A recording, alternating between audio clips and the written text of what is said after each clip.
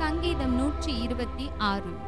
சியோனின் சிறையிருப்பை கத்த திருப்பும் போது சொப்பனம் காண்கிறவர்கள் போல் இருந்தோம். அப்பொழுது நம்முடைய வாய் நகைப்பினாலும் நம்முடைய நாவு ஆனந்த சத்தத்தினாலும் நிறைந்திருந்தது.